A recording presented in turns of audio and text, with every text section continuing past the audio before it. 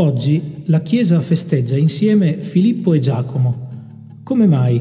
Sono forse fratelli? No, non sono fratelli, sono entrambi apostoli, cioè fanno parte di quel numero speciale di discepoli, i dodici appunto, con cui Gesù ha scelto di condividere gli ultimi anni della sua vita terrena. Ma la ragione per cui oggi vengono festeggiati insieme non è neppure questa. Dopo la loro morte, avvenuta in circostanze diverse, Filippo è stato crocifisso probabilmente verso l'80 a Gerapoli, nell'attuale Turchia, mentre Giacomo sarebbe stato lapidato nel 62. Secondo la tradizione, le loro reliquie furono collocate sotto l'altare della Basilica dei Dodici Apostoli a Roma, il giorno della dedicazione di questa chiesa nell'anno 565. Ecco il perché di questa festa comune.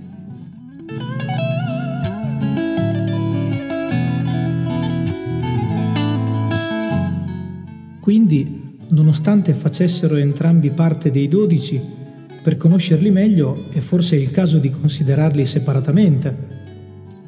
Esatto. Cominciamo dunque da Filippo. Originario di Bezzaida, quindi compaesano di Pietro e di suo fratello Andrea, incontra per la prima volta Gesù sulla strada che porta dal Giordano alla Galilea, forse vicino a Cana, il villaggio di Natanaele, un altro apostolo chiamato anche Bartolomeo. Come mai proprio lungo questo tragitto? Probabilmente perché entrambi, Filippo e Natanaele, oltre che buoni amici, erano anche discepoli di Giovanni il Battista, che battezzava proprio in alcuni punti del fiume Giordano.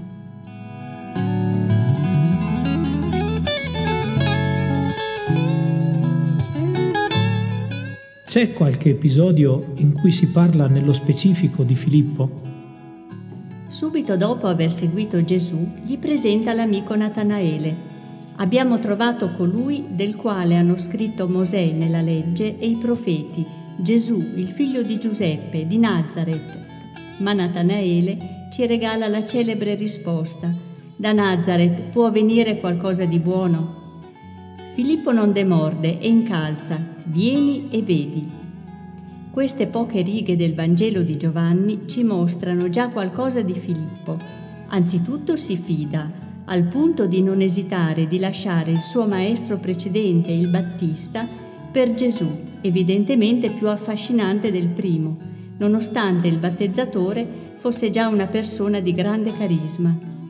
Non solo, forse trascina ancora Natanaele in questa nuova avventura, come già aveva fatto precedentemente portandolo da Giovanni sulle rive del Giordano. Insomma, è uno capace di coinvolgere chi gli sta accanto.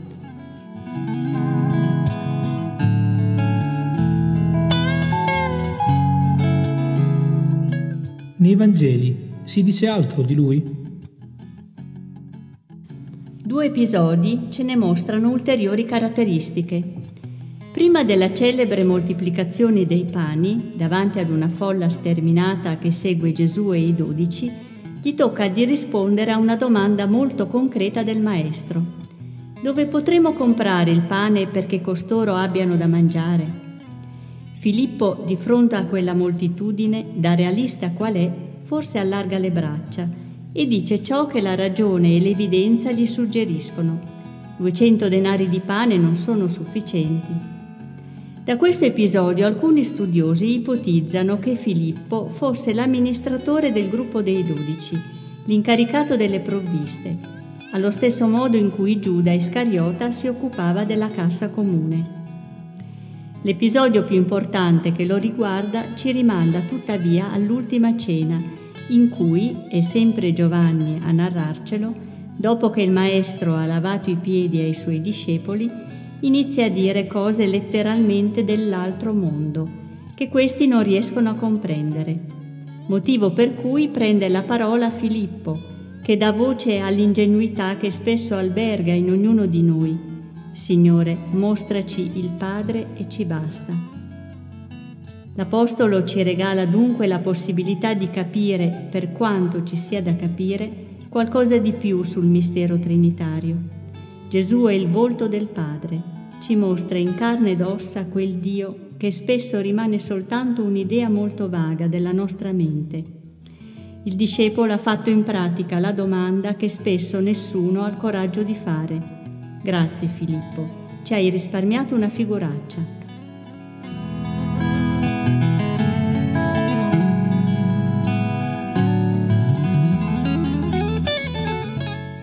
Di Giacomo, invece, che cosa sappiamo?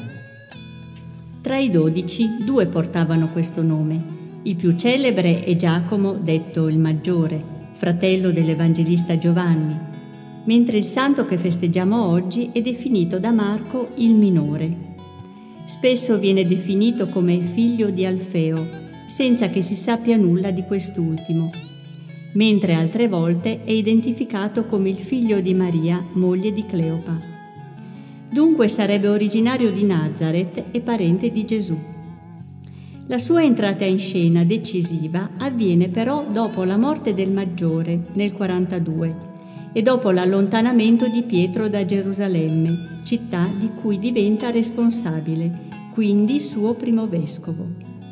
Il regalo più grande che ci fa è tuttavia una lettera, entrata a far parte del Nuovo Testamento e a lui attribuita. Si tratta di una specie di catechismo che rilegge l'Antico Testamento con occhi cristiani.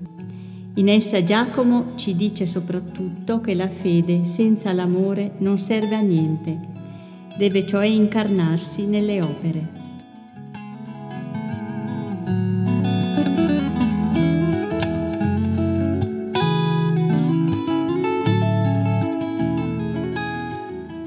Affidiamo, Signore, la nostra vita la nostra fede, ma soprattutto la nostra capacità di amare, all'intercessione di questi due instancabili apostoli e ti ringraziamo per averceli donati.